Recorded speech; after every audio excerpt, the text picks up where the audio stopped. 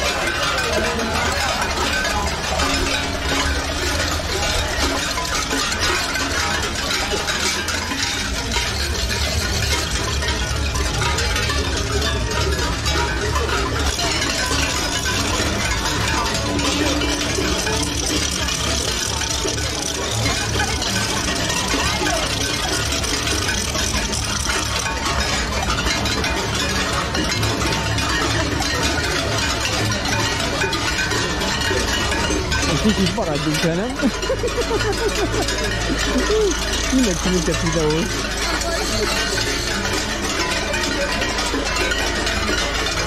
Estou vendo a volta.